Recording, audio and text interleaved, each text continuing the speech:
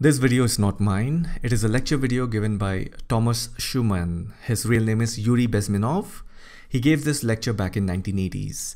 It took me a while to find this golden nugget. And the reason I uploaded this video on my channel is because it is a great lecture that helps us in understanding the current political scenario both around the world as well as in our own country. And I believe it needs to be seen. After watching this, you will be able to relate what is happening today in many Western societies like America and Europe. And unfortunately, it is also happening in India. Since it's a long video, please watch it whenever you have time. And maybe you all get a bit more educated. The video starts now.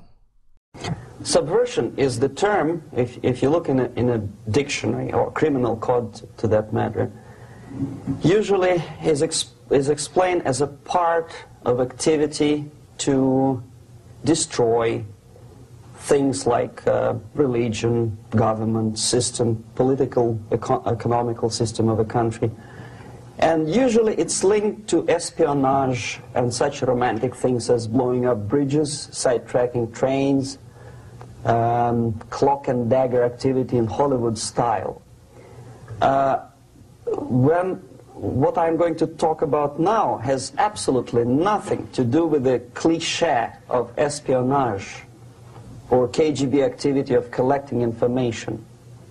So the greatest mistake or mis mis misconception, I think, is that uh, whenever we are talking about KGB, for some strange reason, uh, starting from Hollywood movie makers to professors of political science and quote-unquote experts on, on Soviet affairs, or Kremlinologists as they call themselves, they think that the most desirable thing for Andropov and the whole KGB is to steal blueprints of some supersonic jet, bring it back to Soviet Union and sell it to the Soviet military-industrial complex. It's only partly true. If, if, if we take the whole time, money, and manpower that the Soviet Union and KGB in particular spends outside of USSR border, we will discover, of course there are no official statistics unlike with CIA or FBI, that the espionage as such occupies only 10 to 15 percent of money, time, and manpower. 15 percent of the activity of KGB. The rest, 85 percent, is always subversion. And unlike a dictionary of English, Oxford Dictionary, subversion in Soviet terminology means always a destructive, aggressive activity aimed to destroy the country, nation, or geographical area of your enemy. So there's no romantics in there, absolutely. No blowing up bridges, no microfilms in Coca-Cola cans, nothing of that sort. No James Bond nonsense. It's most of the, this activity is overt, legitimate, and easily observable if you give yourself time and trouble to observe it. But according to the law and, and law enforcement systems of the Western civilization, it's not a crime. Exactly because of misconception, manipulation of terms. We think that subverter is a person who is going to blow up our beautiful bridges. No.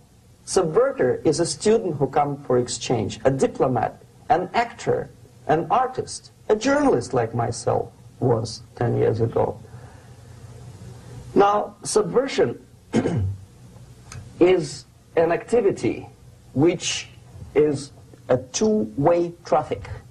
You cannot subvert an enemy which doesn't want to be subverted. If you know history of Japan, for example, before 20th uh, century, Japan was a closed society. The moment a foreign boat comes to the shores of Japan, the Imperial Japanese Army politely tell them to get lost. and if American salesman comes to the shore of Japan, let's say 60 or 70 years from now back, and says, oh, I have a very beautiful vacuum cleaner for you, you know, with the good financing, he says, please leave us, we don't need your vacuum cleaner. If they don't leave, they shoot them. to preserve their culture, ideology, traditions, values intact. You were not able to subvert Japan. You cannot subvert Soviet Union because the borders are closed. The media is censored by the government. The population is controlled by the KGB and internal police. With all the beautiful glossy pictures of Time magazine and Magazine America, which is published by, by the uh, American Embassy in Moscow, you cannot subvert Soviet citizens because the magazine never reaches Soviet citizens. It's collected from the newsstands and thrown to garbage can. Subversion can be only successful when the initiator, the actor, the, act, the agent of subversion has a responsive target. It's a two-way traffic. United States is a receptive target of subversion. There is no response similar to that one from United States to the Soviet Union. It stops halfway somewhere. It never reaches here. The theory of subversion goes all the way back 2,500 years ago. The first human being who formulated the tactics of subversion was a Chinese philosopher by the name of Sun Tzu.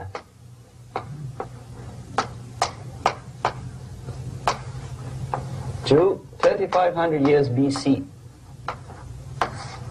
He was an advisor for several imperial courts in, in ancient China. And he said, after long meditation, that to implement foreign, uh, to implement state policy in a warlike manner, it's the most counterproductive, barbaric, and inefficient to fight on a battlefield. You know that war is continuation of state policy, right? So if you want successfully to implement your state policy, and you start fighting, this is the most idiotic way to do it.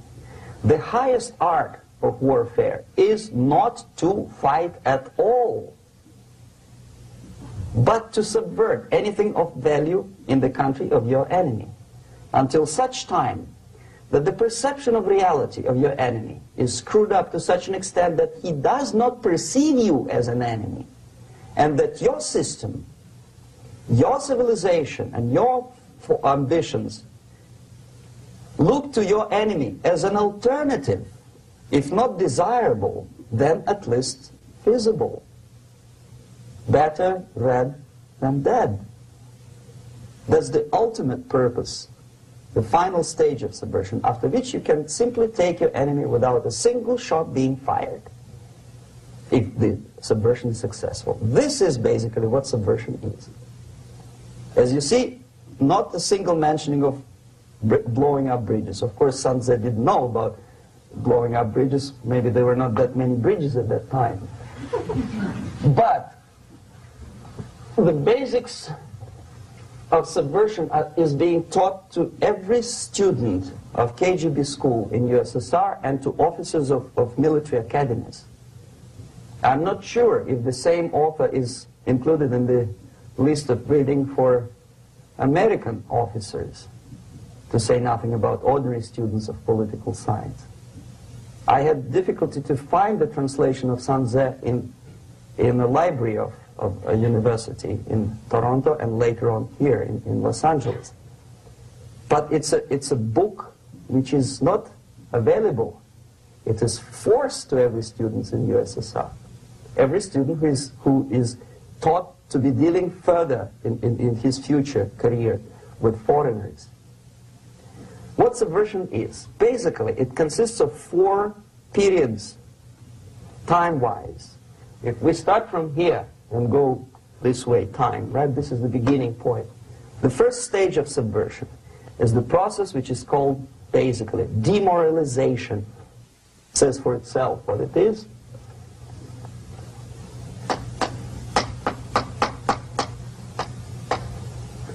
It takes from, um, say, 15 to 20 years to demoralize a society.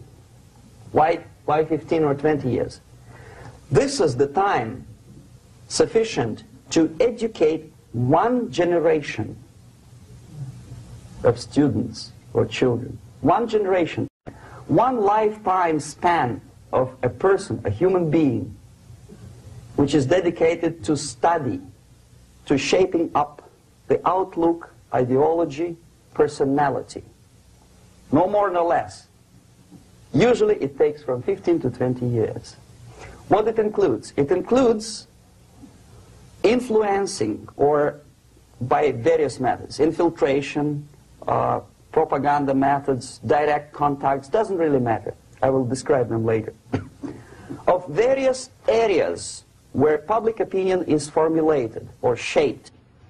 Religion, educational system, social life, administration, law enforcement system, military, of course, and labor and employer relations, economy.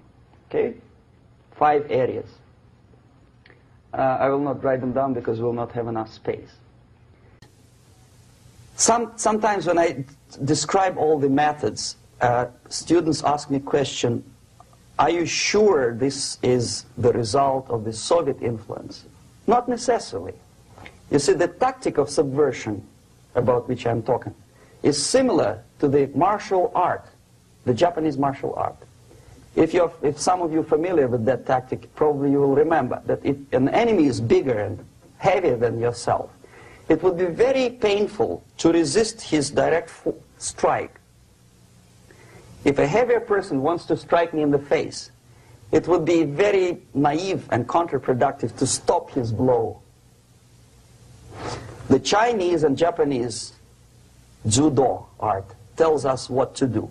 First to avoid the strike, then to grab the fist and continue his movement in the direction where it was before, right? Until the enemy crashes in the wall. You see? So, what happens here? The target country obviously does something wrong. If it's a free democratic society, there are many different movements within the society. There obviously, in every society, there are people who are against this society. They may be simple criminals, ideologically in disagreement with the, with the state policy, conscientious enemies, simply psychotic personalities who are against anything. Right? And finally, there are a small group of agents of a foreign nation, bought, subverted, recruited. Right? The moment all these movements will be directed in one direction, right?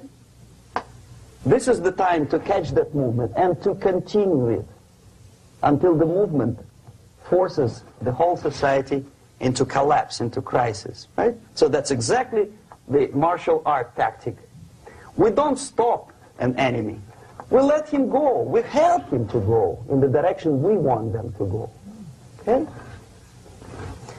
So, on the stage of demoralization, obviously there are tendencies in each society, in each country, which are going to opposite direction from the basic moral values and principles. To take advantage of these movements, to capitalize on them, is the main purpose of the originator of subversion.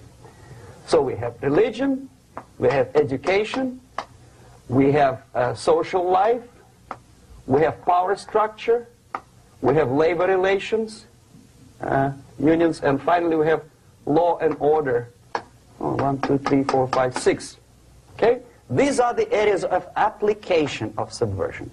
What it means exactly, in case of religion, destroy it, ridicule it, replace it with various sects, cults, which bring people's attention, faith, whether it is naive, primitive, doesn't really matter.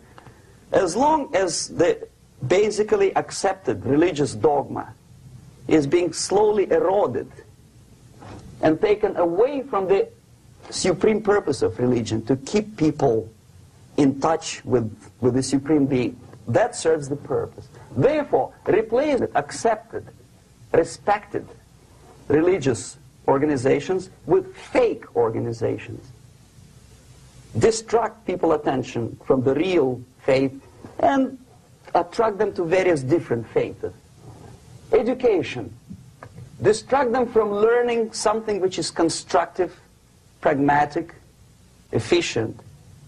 Instead of mathematics, physics, foreign languages, chemistry, teach them history of urban warfare, natural food, uh, home economy, your sexuality, anything, as long as it takes you away.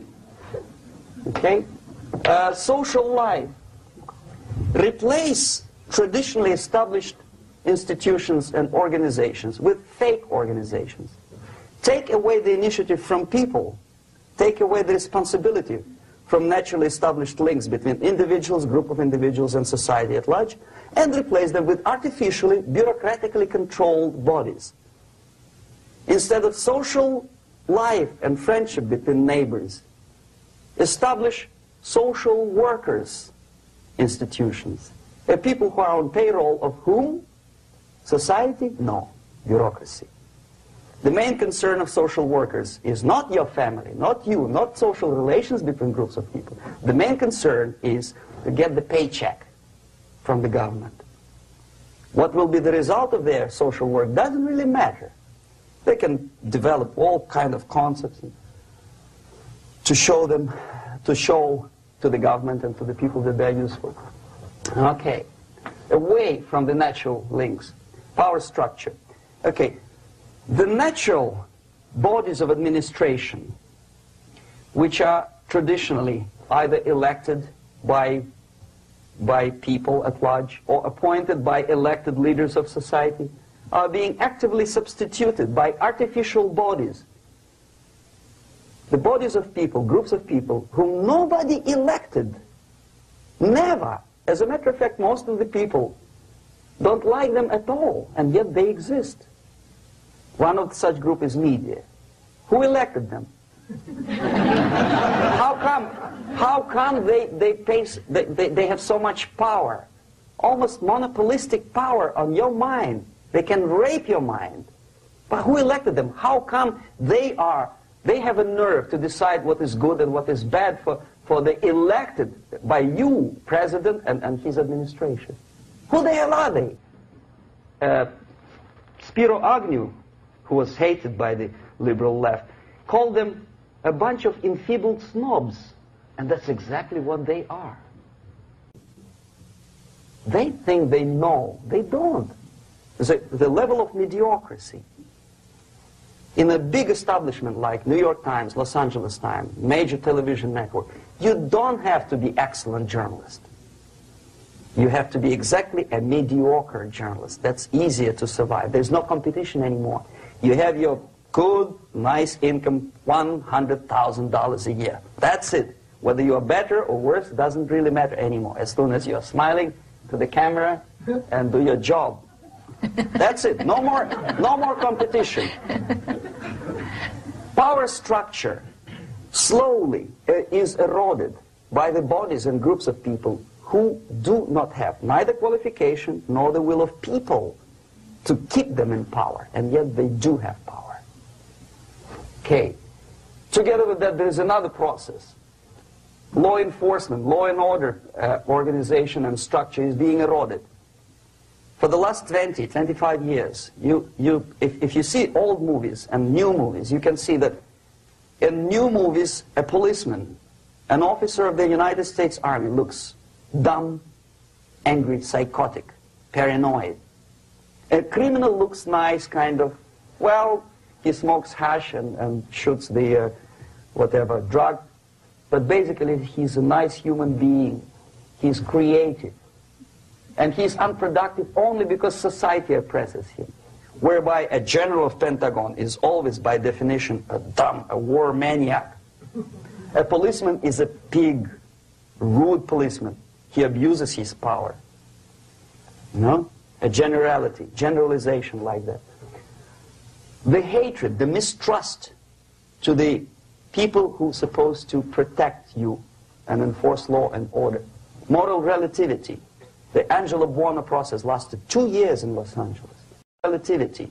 The Angelo Buono process lasted two years in Los Angeles. And yet there are still some lawyers who say, look, he's a nice character, as a matter of fact. There was some witness who said, also a criminal, who said, well, he's a nice guy. I asked him one day to burn a house of my enemy, and he wouldn't do it. nice fella. Erosion. A slow substitution of basic moral principles, whereby a criminal is not a criminal, actually. He's a defendant. Even if his guilt is proven, there is still a doubt to kill or not to kill, to be or not to be. Thou shalt not kill, yes. But this uh, line may not necessarily be applicable to a murderer. Thou shalt not murder. That should be the, the, the presumption, not, not that thou shalt not kill. Okay, labor relations. At this stage, within 15 to 20 years, we destroy the traditionally established links of bargaining between employer and employee. The classical Marxist-Leninist uh, theory of natural exchange of goods. Uh, person A has five sacks of grain and person B has five pairs of shoes. And the natural exchange without money is when they bargain between each other. And only with the introduction of the third force, C, uh, an entirely third foreign stranger who says, no, don't give him five sacks of grain, give it to me. And you give me your five pairs of shoes, and I will distribute it accordingly. So that the economy will go. This is the death of natural exchange, death, death of natural bargaining. Well, trade unions were established 100 years ago. The objective was to improve working conditions and to protect the rights of workers from those employers who were abusing their, their right because they had more money. Objectively, at that time, initially, the trade union movement did work. What we see now is that the bargaining pro process is no longer resulting into eh, in the compromise, which is leading objectively to betterment of working conditions and increase of salary. What we see is that after each prolonged strike, the workers lose. Even if they have 10% increase of their salaries, they cannot catch up due to inflation and due to missed time. More than that, millions of people suffer from that strike because economy now is interdependent. It's intertwined like one body. If previously uh, steel workers, say 100 years ago, could strike and nobody would suffer. Now it's impossible anymore. If a garbage collector strikes today, the rest of the multi-million city is stinking. I mean, the, the, there's no more service. Uh, in Quebec, for example, we had the electricians who were on strike in the middle of winter. You can freeze your bottom, and they still were on strike. Did they catch up with the salary? No, they lost. Who benefited? The leaders of trade unions. What is the motivation for strike? Improving, improving a, uh, a worker's condition? No, obviously it's not. Then what is it? Ideology. To prove to these capitalists. And the obedient horde of workers, like sheep, follow these people. And they cannot disobey. Why? Because if they do, you know what happens to them? Pickets, murders, shooting truck drivers by picketers. In Montreal, for example, I saw with my own eyes when I was correspondent of CBC International, Canadian Broadcasting Corporation, when the workers of aircraft factory destroyed computers and, and, and the equipment in the factory. And they, the, the administration employed strike breakers. Their cars were turned upside down and burned. Their houses were burned. Their kids were intimidated. And some victims were there. Of that you can be sure. Why? To improve conditions of workers? No. Ideology. Okay, so this is what happens basically. It may or may not happen without the help of the Soviet Union. But the natural tendencies are being greatly taken advantage of and capitalized by the Soviet propaganda systems. How? Whenever trade union strikes, we have influx of propaganda, mass media, ideological dissemination. The workers' right, and we repeat it like parrots. Yes, workers' right. Whose rights? Workers? No. The, the only freedom of worker to sell his labor according to his own desire and will is taken away from him. By whom? By trade union boss. Unlimited power is given. Responsibility. I want to sell my labor not for two fifty an hour, but for $2. I don't have right. My freedom is denied to me. I know that if I sell my work for two for two dollars an hour, not for three dollars an hour, I will compete better with the, with the other guy who is lazy and more greedy. I don't need two, three dollars. I need only two dollars.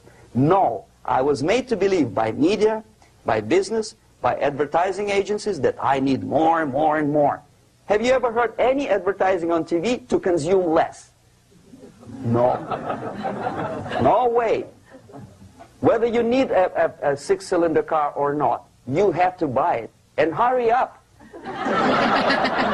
When I was driving here on the local radio station, an excited announcer said, you hurry up, rush and save, save, save. There is a pantyhose sale. save by buying more. of course, of course. It, it would be too naive to expect that KGB makes that advertising agency to, to do such a crazy commercial. No, of course not. But what we did when I was working for Novosti Press, we would snow plow editorial offices, student organizations, religious groups with literature of class struggle, may, if, if not directly Marxism-Leninism propaganda, then a propaganda of, of a legitimate aspirations of working class, betterment of life, equality. Equality, mind you. President Kennedy once said, people, we will make America to believe that people are born equal. Are people born equal? Is there any mentioning in the Bible or any other holy scripture in any religion any religion, if you don't believe me, go to library and check it. There is not a single word about equality. Just the opposite. By your deeds, God will judge you. What you do is important. The merit of your personality. You cannot legislate equality if you want to be equal. You have to be equal. You have to deserve it. And yet we build our society on the principle of equality. We say people are equal. We know it is false. It's a lie. Some people are tall and stupid. Others are short, bold, and clever.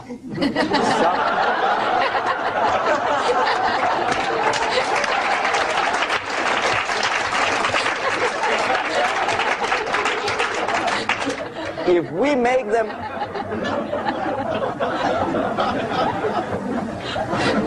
if we make them equal by force, if we put the principle of equality in the basis of our socio-political structure, it's the same thing as building a house on sand. Sooner or later, it will collapse, and that's exactly what happens. And we, as Soviet propaganda makers, are trying to push you in the direction which you go yourself. Equality, yes, equality. People are equal. Land of equal opportunities. Is it true or not? Think about it. Equal opportunities. Should there be equal opportunities? For me and for a lazy bastard who come here from some other country and immediately registers as, as a welfare uh, recipient benefits? I never received a single dollar. No, sorry, I did receive once. But I never applied for welfare. For the 13 years, I took any job. Security guard, journalist, taxi driver, anything. Well, I was restless, but some people don't like it. They immediately. So why should we be? Why should we have equal opportunities? Why? The equal opportunity to excel Equal opportunity in equal circumstances, yes, but we know people are different. To excel, yes, provided we reach the same level of excellency, perfection, which is hypothetical distant future. Yes, maybe. But we know perfectly well that even with the best intentions, people could not be equal. Why should we have equality in, uh, uh, in, in, the, uh, say, legal system? Myself, I'm, I'm considering myself a law-abiding citizen, and a person who comes here to rob and shoot, say, the United States administration under Carter, imported thousands of Cuban criminals. They were non-criminals, yet they were accepted. Do you think it's fair if myself and my wife from Philippines who work like a, excuse me, horse as a lab technician in, in a hospital should have the same rights as a criminal from, from Cuba? Why? And yet we repeat as parrots, equality, equality, equality. And the Soviet propaganda system helps us to believe that equality is something which is desirable. Democracy, as it was established by fathers of this country, of, of this system in the last century, is, is not equality. It's the system where different people, unequal people, have a chance to survive and help each other in constant competition, in constant perfection, not inequality, which is superimposed from, from a, a, a godfather or a nice person in Washington, D.C. And the absolute equality exists in Soviet Union, quote unquote equality. Everybody is equal in, in dirt, except some people are more equal than the others in Politburo. Eh? so, the moment you, you bring a country to the point of almost total demoralization, when nothing works anymore, when you are not sure whether it is right or, or wrong, good and bad. But there's no division between evil and good. When even the leaders of church sometimes say, well, violence for the sake of justice, especially social justice, is justified in the countries like Nicaragua, El Salvador, well, maybe Rhodesia. And we listen to them and say, yeah, probably it's true. Is it true? No, it is not true. Violence is not justified, especially for the sake of quote-unquote social justice introduced by Marxist-Leninists, that is my former colleagues from Novosti Press Agency. Okay, so we reached that point. The next step is destabilization.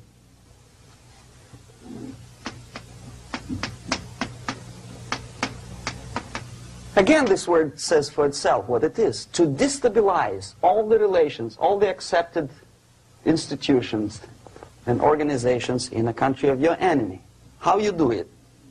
You don't have to send a, a battalion of KGB agents to blow up bridges. No. You let them do it themselves. The area of application is, again, it's, it's, it's narrower now. Not like the, the previous case. The overt legitimate actions of the, of the KGB in this case would be ha hardly noticeable. There is no crime if a professor who recently went to USSR introduces a course of Marxism-Leninism in, in a, a, a, Californian college, for example. Nobody is going to, to come to his doorstep and say, okay, mister, come, you are under arrest. No, it's not a crime. It's not even considered a moral crime against your country. So the area of application here is narrowing down to ec economy, again, labor relations, right? To law and order, plus military. And uh, economy, law, and order. Yes, and again, the uh, media, but uh, wider scope, a little bit different. I'll explain later. Okay, basically three areas. Economy. The radicalization of bargaining process.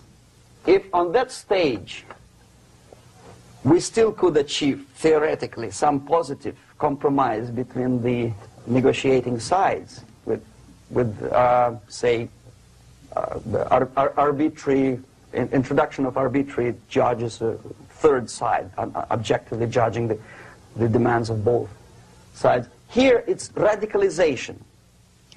On, this, on the stage of destabilization, we cannot come to compromise even within a family the husband and wife couldn't figure out which is better, Husband wants his kids to eat at the table, and wife wants him, a child, to roam around the room and, and drop food all over the floor. They cannot come to compromise unless they start a fight.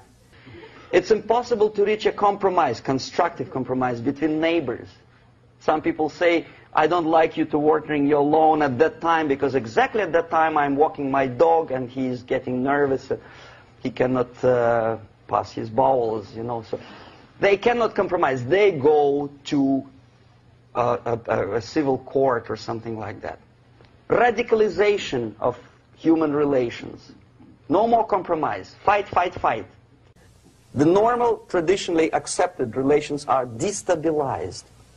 The relations between teachers and students in schools and colleges. Fight. The, the relations between, in economical sphere, between laborers and, and employers are further uh, radicalized. No more acceptance of the legitimacy of demands of workers. Unlike Japanese, with the theory Z, if you, if you ever heard about it, where the workers are involved in decision-making process, therefore they don't have uh, moral incentive to, to fight their, uh, uh their bosses. In the United States, it's just the opposite. The harder is the, the fight, the better the more heroic they look. When the Greyhound uh, uh, network was on strike recently, the correspondents of local TV networks uh, all over the United States were approaching the strikers and they say, oh yes, we are doing something nice. They look like heroes and they were proud. There was some family, uh, the husband was a bus driver. Now they decided in, in, in, in a protest against the uh, uh bosses to camp somewhere in the forest. And they were presented to the, to the audience as, as a heroic, nice people. You see? The violent clashes between passengers, picketers, and, and the strikers are presented as something normal. 10, 15, 20 years ago, we would, we would be, uh, we would be angry, say, why, why, why so much hatred? Today we are not. We say, well, it's commonplace. Radicalization, militarization sometimes. As I explained uh, uh, on that stage, I, I took a step a little bit further. Shooting people. Okay, law and order now also is uh, pushed into the area where previously people settled their differences uh, peacefully and legitimately. Now we are getting with this uh, uh, court cases in the, in the smallest irrelevant cases we cannot solve our problems anymore the society at large becomes more and more antagonistic between individuals between groups of individuals and the society at large the media puts himself in the opposition to the society in general at large separate alienated. Okay? On that stage, you remember I was talking uh, a, a couple of hours ago about the sleepers. That's when the students from, say, United States, if they're trained in, in Lumumba University, or developing nations, that's the students I was dealing with, are being sent back from the Soviet Union here.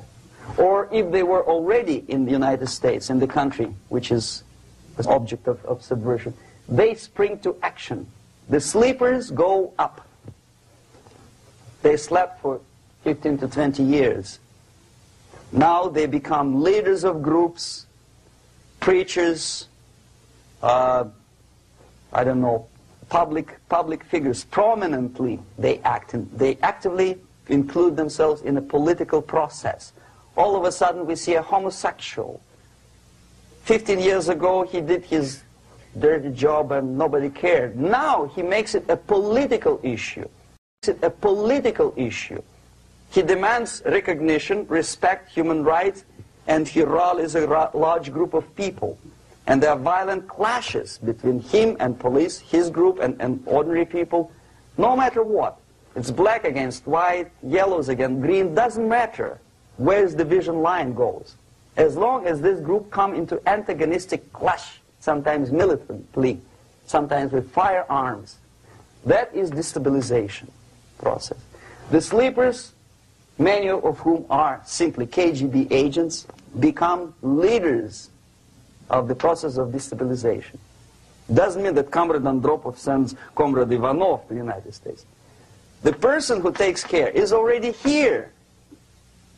He is a respected citizen of the United States. Sometimes he, he gets money from various foundations for, for his legitimate uh, struggle for, I don't know, human rights, women rights, kid lib, prison lib, whatever. There are sympathetic Americans who donate their money to him. This uh, stabilization process usually leads directly to the process of crisis.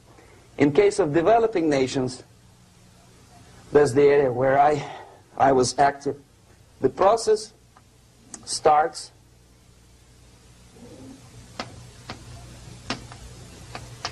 when, when the legitimate bodies of power, the social structure collapse, it cannot function anymore. So instead, we have artificial body injected into society, such as non-elected committees. You remember I was talking about them here. Social workers who are not elected by people, media who, who are self-appointed rulers of your opinion, uh, some strange groups uh, which claim that they know how to lead society forward. They don't usually. All they care is how to collect donations and, and, and sell their own concocted ideology, mixture of religion and ideology. Here, we have all this artificial body claiming power. If the power is denied to them, they take it by force. In case of Iran, for example, all of a sudden we have revolutionary committees. Who, what, what kind of revolution? There was no revolution yet, and yet they had the committees. They were taking power of, of judgment. They had, they had the power of execution, they had the power of, of uh, le legislation, and that they had the power of, of uh, judicial. All of them combined in one person, who is half-baked intellectual, sometimes graduated from Harvard University or, or Berkeley. He comes back to his country and um, he, he thinks that he, he knows the answer to all the social, economical problems. Okay? Crisis is when society cannot function any more productively. It collapses, obviously. That's the, the word for crisis. So therefore, the population at large is looking for a savior. The religious groups are expecting a messiah to come. The workers say, we have family to feed. Let's have a strong government, maybe socialist government, centralized. When, when somebody put, put the employers on their place and, and let us work. We are sick and tired of going to strike and, and missing overtime and all that stuff. We need some strong man, strong government, a leader, a savior is needed. Population is sick and tired already. And here we are. We have a savior. Either a foreign nation comes in, or the local group of, of leftists, Marxists, no matter what they call themselves, Sandinista, a reverend or some sort, Bishop Muzorewa, like in, in Zimbabwe, doesn't matter. A savior comes and says, I will lead you. So we have two alternatives here. Civil war an invasion. Okay? See how it goes? Civil war, we know what it is. Lebanon is, is the best example. The civil war, which was artificially implanted in Lebanon by injection of force of PLO, Palestinian Liberation Organization. Invasion we have in many other countries like Afghanistan, uh, name any East European country, it, it was invaded by the Soviet army. But the result is the same. The next stage is normalization. Normalization is a very ironic word, of course. It is borrowed from 1968 situation in Czechoslovakia, when the Soviet propaganda and after them New York Times declared the country is normalized the tanks moved into Prague, so there is no more Prague Spring, there's no more violence, normal, normalization. At that stage, the self-appointed rulers of the society don't need any revolution anymore. They don't need any radicalism anymore. So this is the reverse from destabilization. Basically, it is stabilizing the country by force. So all the sleepers and activists and social workers and liberals and homosexuals and professors and Marxists and Leninists are being eliminated physically sometimes. They've done their job already. Okay? They are not needed anymore. The new rulers need stability to exploit the nation, to exploit the country, to take advantages of the victory. Okay? So no more revolutionaries, please. And that's exactly what happens in a number of countries. You remember Bangladesh? This is the crisis in which I was instrumental. First they had Mujibur Rahman. In 1971, he was the leader of, of People's Party, Awami League, with mustache like Stalin. He was in, in, in Russia many times. In five years, he was shot by his former colleagues, Marxists. He fulfilled his function. In Afghanistan, it happened three times. First there was Taraki, then there was Amin, now there's Babrak Karmal. They killed each other successively, one after another. The moment he fulfills his duty, the first one demoralized country, the second destabilized, the third one brought it to crisis. Goodbye, comrades. Babrak Karmal comes from Moscow and put in, in, into the seat of power. Same thing happened in Grenada recently. Maurice Bishop Marxist, was killed by Austin, what's his name, General something, who was also a Marxist. Right? So no more revolutions, please. Normalization now. From now on, no more strikes, no more homosexuals, no more women lib, no more kid lib, no more lib, period. good, solid, democratic proletarian freedom. That's it. Now, to reverse this process takes enormous effort. When today, United States had to invade Grenada to reverse the process of subversion. Some people say, boy, this is not good, it's not kosher to invade the beautiful country, island of Grenada. Well, why didn't you stop the process here, when Grenada was just approached by leftists? Why not to prevent Maurice Bishop to come in power in the first place? Did Grenadians want him? Very questionable. They didn't know who was Maurice Bishop in the first place. He came to power by coup d'etat himself. Okay?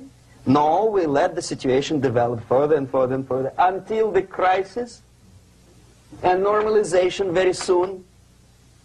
And then the United States decided to invade country, discovering that the, the country was absolutely a military base for the Soviet Union.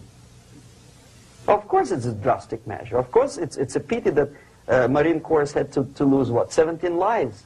Very bad. Why not to stop the process before it comes to crisis? Oh, no, intellectuals will not let you. It's interference into, into domestic affairs. They're very careful not to, not, not to let American administration to interfere in domestic affairs of Latin American countries. They don't mind Soviet Union interfere in these affairs. Okay. So to reverse this process, from here, it takes only and always military force. No other force on earth can reverse this process at this point. At this point, it does not take military invasion of United States Army. It takes strong action, like in Chile, a CIA covert involvement to prevent the savior from outside to come into power and to stabilize country before it erupts into civil war. Stabilize country before it erupts into civil war. Okay? Support the right-wing conservative forces. By money, by crooks or love, doesn't matter. Stabilize the country. Don't let the crisis develop into, into civil war or invasion. Oh no, your liberals will say it's, it's against the law the Congress will not appropriate money for covert actions of CIA. Why not? Should we wait till the normalization come and Soviet tanks land in, in, in Los Angeles airport? Now, at that point, at the point of destabilization, also the process could be reversed. Again, easily than this. No CIA involvement at this point. You know what it takes here? Restriction of some liberties for small groups which are self-declared enemies of the society. As simple as that. Oh no, the media and liberals will tell you this is against the American Constitution. How can we, uh, by force, deny the civil rights to criminals, for example? It's, it's not good. Okay? So we allow them to. Okay, if you allow the criminals to have civil rights, go on and bring the country to the crisis. This is a bloodless way to do. Curb the rights. I mean, not to put them in prison. No, no, I'm not talking about putting all the gays from San Francisco in the concentration camp. Do not allow them to take political force. Do not elect them to the seats of power, whether it is municipality level, state level, or federal level. It has to be bitten in the heads of American voters that a person like that in the seats of power is an enemy. Do not be afraid of this word. It is an enemy. If he is not an enemy here, he will be here. Later on, he will be shot, of course. but at this point, he is an enemy. Okay? You are doing great service by denying him a right to capitalize on his own crazy ideas and become a powerful man, a, a man who uses the seat of power. Restriction of certain freedoms and permissiveness at that point would prevent sliding into crisis and probably will return the process of destabilization. To curb unlimited power, monopolistic power of trade unions, here, at that point, would save economy from collapsing. To, introduce a law to stop private companies of raping public opinion's mind in, in, the, in the direction of consumerism. No company must have a right to force you into buying more unless you want it. There must be a law. You want to advertise your, your car? Okay. But not a single mentioning of buying it now and saving money. it must be against the law to force people to consume more. Self-restraint. Previously, before this process started, the self-restraint was a business of church, religion. Because our preachers, the fathers of church, would tell us, material values are good, but it's not the prime function of human being. Because you have to live with something, obviously, the design for our life is not to consume more deodorants. there must be something greater. If such a complicated instrument as human body was created, obviously there must be some higher purpose for that. And it's very easy to avoid destabilization by denying the greedy companies one little freedom, one little liberty, forcing you into turning yourself into processors of unwanted pr products and goods. They turn you into machines, like a, a, a, the worm who there's inlet and outlet. So, and how long an average appliance lasts these days? Less than a year. Why? Where's workmanship? Well, we want you to buy more. Okay. Destabilization process could be easily overcome if, as I say, the society, by its own will or after persuasion by the leaders, will come to the idea of self-restraint. It's so hard we want to consume more, but you have to. Unless you will come to this stage, when, as we say in Russia, if Sahara Desert ever becomes a communist state, there will be shortage of sand. so you have to curb your... you have to you have to curb your expectations at this point before it's too late. But no, we don't want to do it. Demoralization process Again, it's the easiest thing to reverse. First of all, by restricting import of propaganda. The easiest thing to do. Unlimited, unrestrained import of Soviet literature, Soviet journalists, uh, giving Soviet propaganda and ideological agitators equal time on American TV network. It has to be stopped. And it's easier. They won't, they won't be offended, mind you. As a matter of fact, they will respect America more. But when my former colleague Vladimir Pozner appears on Nightline and Ted Koppel asks him, well, Vladimir, what do you think about this? And what can he think? He is an instrument of propaganda. He thinks what, what, what Comrade Andropov tells him to think. he is just a nice, articulate mouthpiece of the Soviet uh, uh, subversion system. And Ted Koppel makes you believe that my friend Vladimir Pozner thinks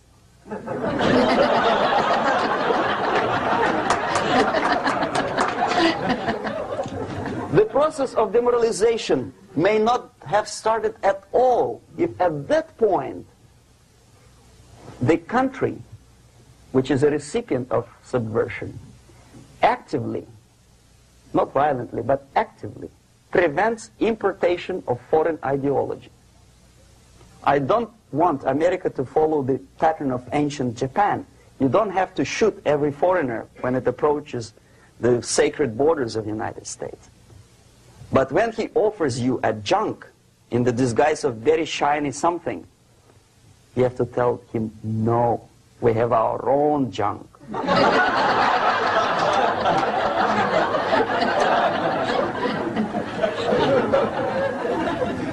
if at that point the society is strong, brave, and conscientious enough to stop importation of ideas which are foreign, then the whole chain of events could be prevented. Recently I've been to Philippines and I was shocked how in big cities like Manila, children listen to deafening music.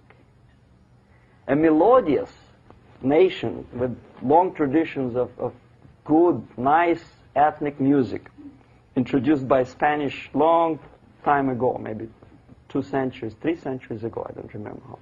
All of a sudden listen to musical garbage, blasting their radios at, at full blast, at, at full volume. Why? In India, I spent many years watching the reactions of Indians walking out of movie theaters after seeing Hollywood production. They, they couldn't figure out why Americans are so wasteful. They smash their cars, their shiny cars every five minutes. How come they shoot each other for half million dollars? Is it true that they're so sex, sex uh, uh, I mean, obsessed with sex? Can you imagine showing a movie where each five minutes there's a, copulation on the screen to a country like India with long traditions, tradition of, of uh, respect to, to these private matters, or to Pakistan. And United States expect these people to respect you? No way. Oh yes, they will see the movie. They'll pay five rupees to see that garbage. But they walk out and will tell their kids, don't respect Americans. Don't be like Americans. So, the process of demoralization could be stopped right here, both as an expert and as an import. And that takes one step, one very important thing to do. You don't have to expel all the KGB agents from Washington, D.C. The most difficult and at the same time the simplest answer to the subversion is to start it here and even before by bringing back the society to religion, something that you cannot touch and eat and put on yourself, but something that rules society and makes it move and preserve it. A Soviet scientist, Shafarevich, who has nothing to do with religion, he is a computer scientist, did a very intensive research on the history of socialist countries he calls socialist or communist any country with a centralized economy and a pyramidal style of power structure. And he discovered, actually he didn't discover it, he just brought to attention of, of his readers, that civilizations like Mohenjo-Daro in the river Hindus area, like Egypt, like Maya, Incas, like Babylonian culture, collapsed and disappeared from the surface of earth. The moment they lost religion, as simple as that, they disintegrated. Nobody remembers about them anymore. Well, distantly. so, the ideas are moving society and keeping mankind as, as, as society of human beings, intelligent, moral agents of God. The facts, the truth, the exact knowledge may not. All the sophisticated technology and computers will not prevent society from disintegrating and eventually dying out. Have you ever met a person who would sacrifice his life, freedom, for the truth like that? This is truth. I never met a person who said, this is truth and I'm ready to shoot me. to defend the truth. Right? But millions sacrifice their life, freedom, comfort, everything for things like God, like Jesus Christ. It's an honor. Some martyrs in, in the Soviet concentration camp died. And they died in peace, unlike those who shouted, long live Stalin, knowing perfectly well that he may not live long. something which is something which is not material moves society and helps it to survive. And the other way around. The moment we turn into 2 by 2 is 4 and make it a guiding principle of our life, our existence, we die. Even though this is true, and this we cannot prove. We only can feel and have faith in it. So the answer to ideological subversion, strangely enough, is very simple. You don't have to shoot people, you don't have to aim mi missiles and Pershings and cruise missiles at Andropov's headquarters. You simply have to have faith and prevent subversion. In other words, not to be a victim of subversion. Don't try to be a person who in judo is trying to smash your enemy and being caught by your hand. Don't strike like that. Strike with the power of spirit and moral superiority. If you don't have that power, it's high time to develop it. And that's the only answer. That's it. Thank you.